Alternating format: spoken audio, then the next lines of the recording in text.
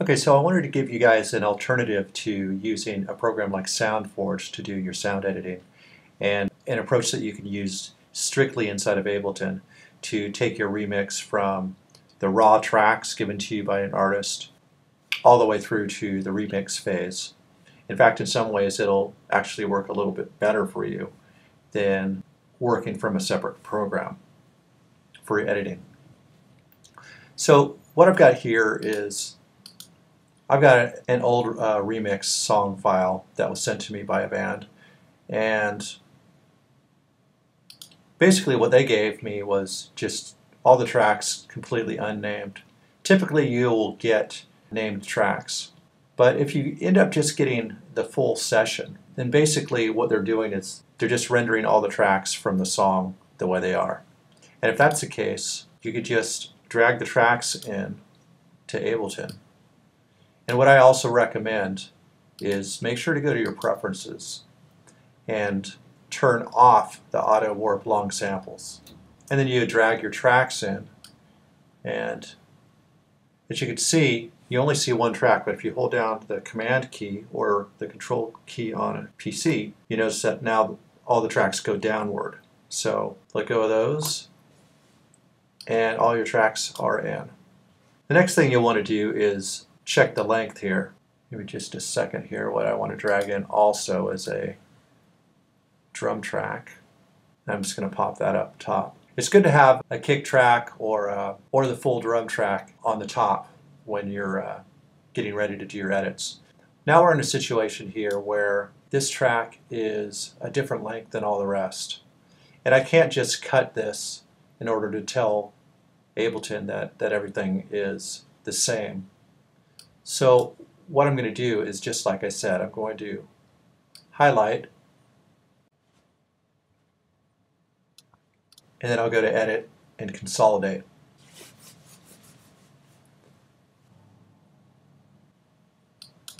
Alright, so now they're all the same length, which is exactly what we want.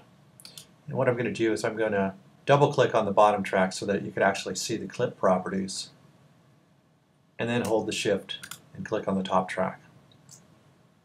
And now what we've got is it's showing us the top track here. But the cool thing is when I warp this track, it's automatically going to set the same warp markers and all the all the same warping techniques for all these tracks so that they'll all line up just perfectly. So in this case what I'm going to do is I'm just going to drag the first warp marker to the first kick right onto the closest downbeat, which is going to work fine with me. Now you, you don't have the right click options like set to one and a lot of other uh, warping techniques when you when you're using multiple clips. So you have to warp this manually. So I would just come here and warp from here. And I've shown people how to do this in other videos, so I'll kind of jump past this whole warping part and we'll get into the editing. Alright, so we've got our, our parts warped. Come over here, hit save. And now we're ready to cut up the samples. So what I'll do here is I'll just uh, highlight sections that I want. You know, here's I'll solo this part and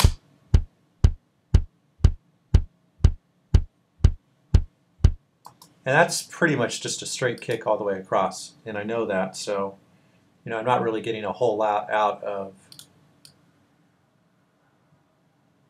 this track except for a loop. So I'm just going to highlight the section, hit Command E or Control E on the PC, and that's going to be the only part that I need from that track. So I've just uh, deleted the other parts. And I'll jump over here. Looks like both these are guitar tracks. Just for this, I'll, I'll go ahead and delete this audio track here. And I'll delete this one as well, because they're both the same. Kind of a right and left signal. And now I'll just try to find something interesting here. Oh, solo this one.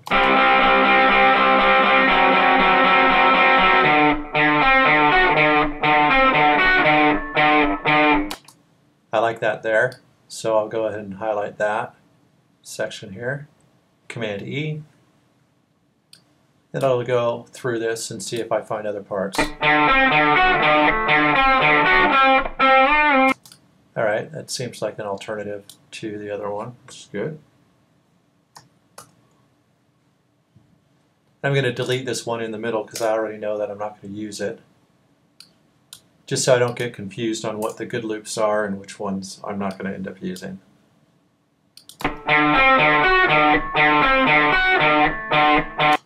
Okay, that sounds like more of the same.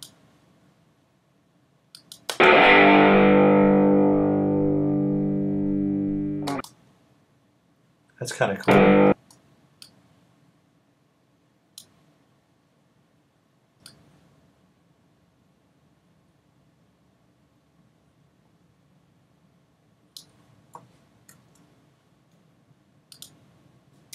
Okay, great. And I might go through, you know, more of this if I were doing the actual remix, but this is just an example I wanted to show you. I'd come into here and see what we got here.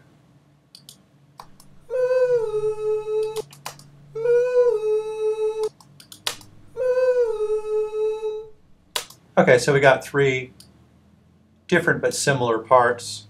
I'll go ahead and loop each of these because I might be able to you know, layer them together to create a, a stronger sound or whatever. So great, and then I'll just delete the sections I'm not work, working with. And let's see. And that looks like more of the same, so I'll just get rid of that. Next one. Seems like I'm always outnumbered.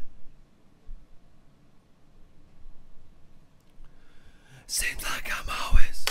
Since this is just a short bit, I'll probably just use this whole thing because I could always cut it up later as well. I just kind of want to get rid of the, the parts that I'm not going to need. And I know that this other track is doing the same thing, so I'll just cut both of those, get rid of these,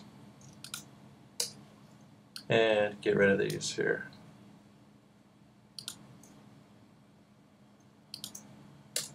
Okay, great. So now we've got all of the parts that we're going to use from the tracks that we've grabbed for a remix.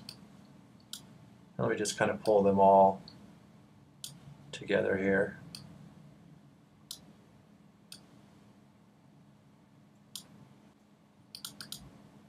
And now what I can do is go to each one of these and I can consolidate each track.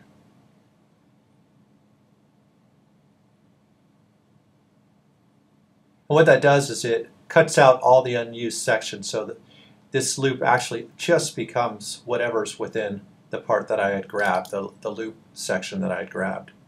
So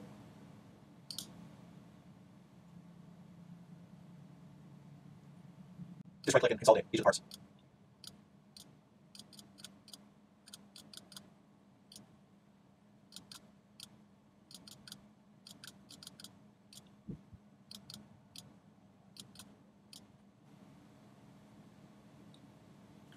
All right, so now we have all the parts that we're going to use for the track, just assuming that these were all the parts we were given. And then what I will do is I could create a folder here, go to my desktop,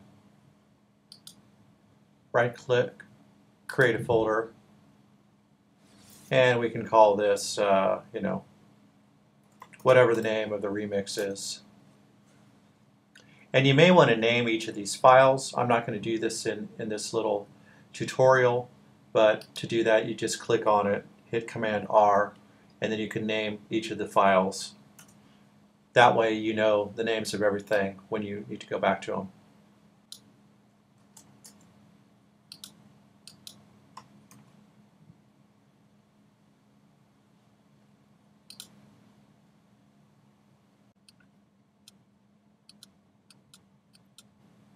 Then I could just go ahead and put them all on the same audio track. I'll highlight them all and just drag them in to the remix folder. And I, will just name this remix whatever. And now it's got all the samples in here, but even easier, if I click down here in the audio, it's got all the different parts and each of these parts will be named so you could just simply drag one part in or drag all the parts in for use in your remix. So that's another way that you can accomplish editing your parts and preparing them for remixing.